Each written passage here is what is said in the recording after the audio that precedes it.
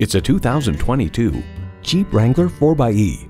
It may be electric, but it will still get you off the grid. This is how Wrangler does the plug-in hybrid. It's equipped for all your driving needs and wants.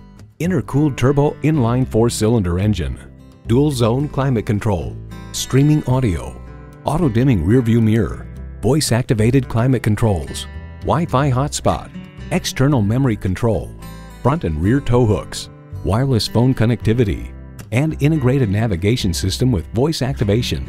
Journey anywhere in a Jeep. Stop in for a test drive and make it yours today.